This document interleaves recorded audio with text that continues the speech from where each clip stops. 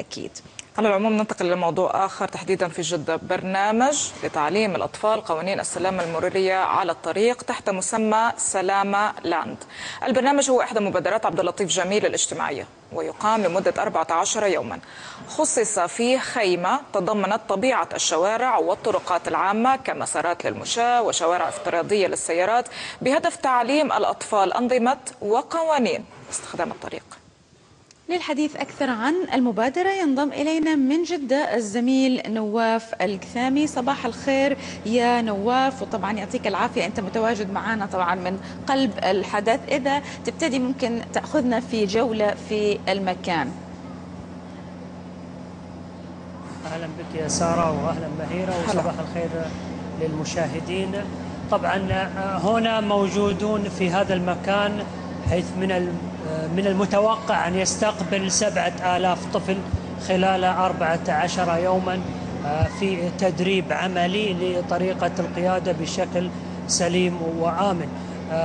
كما يتضح خلفي بدأ بدأت الخيمة التي عدت هنا في استقبال الأطفال المستهدفين من هذا التدريب العملي. طبعا جدة تعرفت قبل أيام أيضا تدريب لطلاب الجامعة شارك فيه نعم. خبراء أجانب من إنجلترا وعمان والإمارات وكل هذا يهدف لنشر ثقافة السلامة المرورية خاصة وأن المملكة تعتبر من أكثر دول العالم في وجود أو في الحوادث المرورية التي ذهبت بأكثر من 86 ألف من السكان خلال 27 عام نواف لتقريب الصورة. أولا نعم. ممكن ترفع المايك عشان الصوت مش واضح. وإذا أمكن نعم. تأخذنا في جولة. خلي الكاميرا تأخذنا في جولة للمكان. على المكان. أي. طبعا كما يتضح معكم الآن هذا هو الفصل الدراسي الأول. هنا يتم الشرح للأطفال قواعد السلامة المرورية.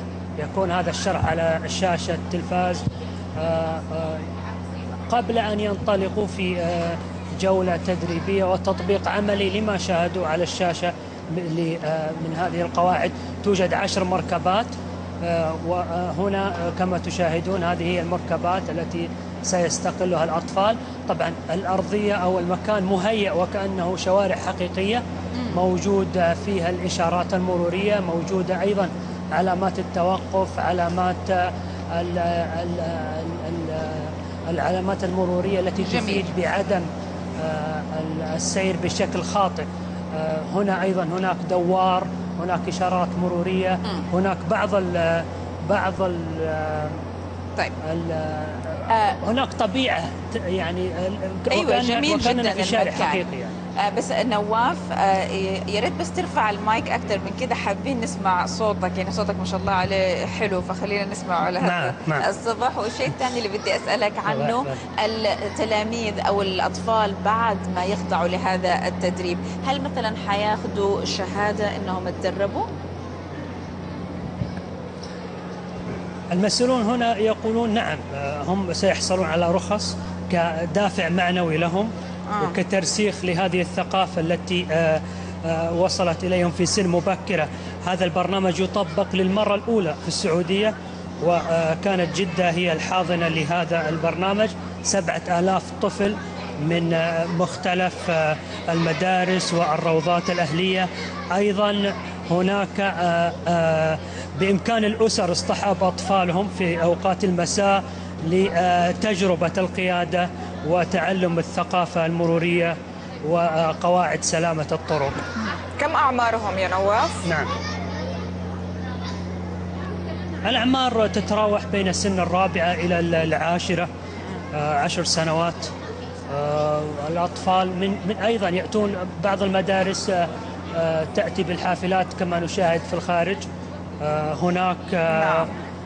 أيضا روضات نعم. جميل. نعم. صراحة مبادرة جميلة وأتمنى بالفعل أن هي ترسخ فكرة سلامة الطريق وأهميتها لما يكبروا ما ينسوا الدروس اللي تعلموها هم صغار. شكرا للزميل نواف الكثامي انضم إلينا من جدة.